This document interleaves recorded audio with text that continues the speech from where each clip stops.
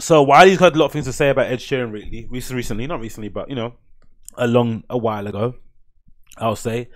And some of the comments that he's made about Ed Sheeran have been, you know, there's some valid criticism in there, but I don't know, man. I'm looking at the comments that he makes. I'm just a little bit perturbed by it all. Um, it seems as if Wiley has essentially pissed off with Ed Sheeran because he feels as if Ed Sheeran owes him a verse or owes him something because he was able to give him one thing and Ed Sheeran didn't, was able to, wasn't able to reciprocate it on that regard. Um, but let's see if I can get this video up. It's a video that he basically goes at Ed Sheeran for the most part. Where is it? Da, da, da. Uh, oh, it's, it's, an interview. Okay, it's an interview that he does with um this this lady called A Dot on one BBC 1Xtra, and essentially, it kind of stems from Wiley feeling as if Ed Sheeran hasn't been um receptive, receptive, receptive, or you know, there's you know there's a of thing in music where you give someone a verse, they give you one verse back but it just seems as if Wiley's in a position where, in my opinion, I think he's he's has to maybe come to a realization that he isn't necessarily um what do you call it? Not PG friendly, but he's not brand friendly for someone like Ed Sheeran, right? Ed Sheeran's probably in a far better place to probably lend a hand to Wiley than Wiley to lend a hand to him. Um, you know, because for the most part, if Ed Sheeran jumps on a Wiley track, and Ed Sheeran doesn't promote it, none of Ed Sheeran's fans will ever hear it, right? That's the reason why some, I think, some of the UK grime artists, some of the UK rap artists get annoyed with some of the US artists that they collaborate with because, for the most part, if they collaborate with a Lil Baby or a Gunna or a Future or whatever, and they don't promote it on their side of the pond, no one will ever find out that they did a collaboration together, right? So you have to sometimes, I think, come to realization when you're an artist or a musician. I know I have when I'm doing my DJ stuff. You have to maybe understand where you fall in the pecking order of things and I think Wiley has kind of maybe incorrectly assumed that he falls high in the pecking order. He maybe has a bigger draw than maybe what he does have. And I think a lot of it as well isn't necessarily just that. I think there's a lot of baggage involved in it that we don't necessarily know a lot about, that we're not really privy to. Um, but yeah, it, do, it does seem that a lot of it has come from that sort of like anger, that sort of frustration, and you can feel it. You can completely understand where why that would come from. Imagine being a Wiley and he supported this kind of, this dude from the beginning, right? And you've been kind of you know supporting him, backing him, and you kind of thought he might be a culture vulture, but you're gonna stand next to him. You're gonna make sure that he kind of you know is in the right places or does the right things or is seen with the right people. You know, you're gonna kind of vouch for him, and then suddenly when it comes your turn to kind of ask for a favor back, it kind of goes all tits up, and that's essentially why I've kind of always ascribed to the notion or to the point of view that you shouldn't really expect anything from anyone. I don't think you should expect people to reciprocate things to, well, yeah, to maybe repay a favor. I think you should just do things without expecting to get paid back. Just to do things from the bottom of your heart because you're just a nice guy or a nice girl. I think that way you'll be able to kind of navigate through life better and able to kind of withstand some of the pelter, some of the kind of arrows that will come through your heart once you're kind of going through things. Because the realization that sometimes some people are going to be dicks and they won't kind of reciprocate anything back to you is something that's going to be brutal to kind of feel by and large. Um, I'll play a little bit of the interview here just because you know it's interesting to hear kind of Wiley um, losing his shit. But here's here's here's some here's some of the interview. I'll play now. Let's hear it.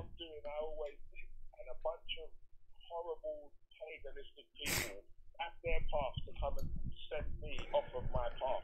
And the sad thing is, look, I'm a very reasonable guy. I love music as much as everyone loves music. I love energy. I rate different people. I respect different people. But you know what? Enough of them are pagan. And it's, and it's, and it's sad because I didn't see them like, I didn't think they were like that. But then after you work it out, bro, and that's when enough of them are pagan. You get me? Who's a pagan? Because Drake, Drake, bro, Drake is a pagan. Drake is a culture vulture. Ed Sheeran, you are a culture vulture. You know what you said, Ed, at the beginning? You need me, man. I don't need you. That's what you said. the other day, mate, you had to use grime to tip your song over the edge. They called you, Ed, the most influential urban artist of a decade or whatever they was, however long it was. When I read the thing, I said, you know what? It should have said the artist who sold the most. Because how I don't necessarily have an issue that I don't think. I think this this has always happened. This always existed in music. Like there's always been a person that the press or the media has kind of lumped these weird titles on that don't necessarily represent the entire, um, you know, breadth of a scene. Right? There's been someone they've picked out who's kind of been the most corny. When there was a time in period where people were very against the whole fact that Stormzy was being, um, you know, thrust upon the, the front of the queue has been kind of the, the kind of go to grime guy. Now he's kind of you know it, the narrative has kind of changed around Stormzy over the last couple of years and that. But that was a that was a conversation too that happened quite recently. So I think that's always kind of happened. I think the the success of the scene so far that I've kind of noticed from the outside looking in has been that so far no one's necessarily been chasing this um, commercial or mainstream uh, appeal. People have been really appealing to their base, which has been awesome. You see people even like the, the Young Adz and all those kind of dudes coming up, even M Huncho. they've been specifically just uh, directing all their attention to the people that actually like them or that actually follow their music not caring anything about people that don't fall outside that remit. And then what ends up happening is that you end up seeing when you go on social media, or you end up seeing when they repost people that have been posting their songs or things that they like about their album. You go in their profile pictures and you see that these are kids that necessarily aren't necessarily from urban areas, aren't necessarily from ghettos, aren't necessarily from the road. They're kids that are from outside of big metropolitan cities who are kind of identifying with music because it's something that they can identify because it's something from the UK and it's something cool and interesting. And of course, if you're a kid from the suburbs, the one thing that you're going to be interested in is a thing that doesn't necessarily talk to you at all, right? Because you, you want to be part of that core thing. But the moment it becomes mainstream, the moment it becomes pop, the moment your grime artist is standing next to Harry Styles at an award ceremony, is a moment you've kind of your artistry or the um the thing that makes it interesting has kind of lost its kind of sheen, right? And that's not to say Harry Styles isn't interesting, but he occupies a different sort of level, a different sort of playing field.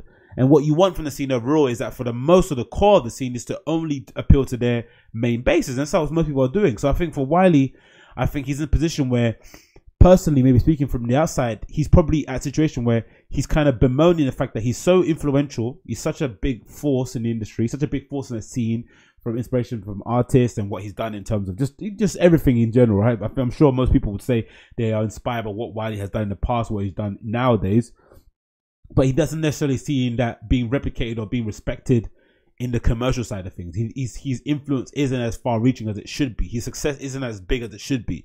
And that kind of would make you feel a bit resentful. But to kind of label Ed Sheeran and Drake a culture vulture, I don't necessarily think is true. I don't, I, I think for as much as people like to say Ed Sheeran might be a culture vulture, I don't think he really has that much to gain out of associating himself with grime, associating himself with people from the road. I think they those artists have more to gain by having him next to by having Ed Sheeran next to them as opposed to the other way around. Um, I think with Drake's the same thing was going on there too. I think, of course, Drake has been maybe strategically clever in terms of positioning himself as the kind of de facto guy that is really into music and supporting people, right? I saw him recently on the stage, recently just on the side of the stage, um, you know, vibing out to Lil Keed when he's performing at some show somewhere. He went and went, he went to see, to see Post Malone perform at his Toronto show. He's a, he's generally a fan of music. He'll go and see people perform, right? He reached out to artists recently. Just reached out to Summer Walker and said he really liked her new album.